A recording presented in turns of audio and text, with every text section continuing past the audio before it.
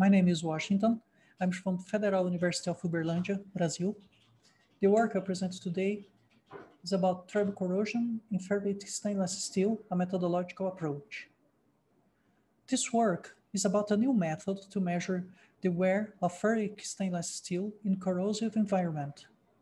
It is part of a bigger research connected to problems of sugar alcohol industry.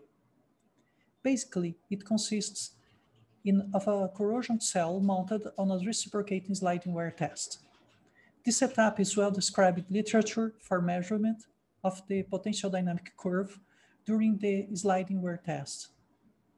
This system was improved using uh, special instrumentation for recording the history of friction coefficient during the test here and here. Uh, it is called triboscopy.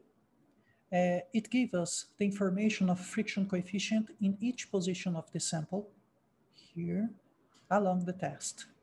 Here. In this case, it is clear the effect of corrosion on friction coefficient, indicating the change of tribological behavior according to the potentiodynamic curve zone. Here we have the active zone, the passive zone, here indicated the transpassive zone. Uh, this graph, we have the average of friction measurements in the uh, plotted in the potentiodynamic curve. It is clear that the friction decreases here uh, when passive film is formed in comparison to the sliding wear tests in red.